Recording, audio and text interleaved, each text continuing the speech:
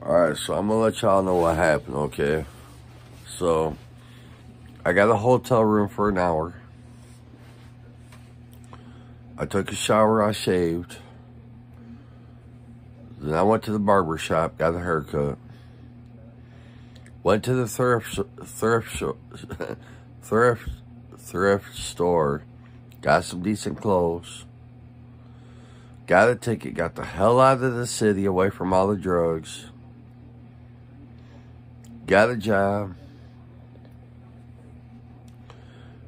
and then uh, read a book, drank some other, did some push-ups, went for a walk, went for a jog, read a book, got some sleep, saved a little bit of money out of each check, called my parents, and they come pick me up.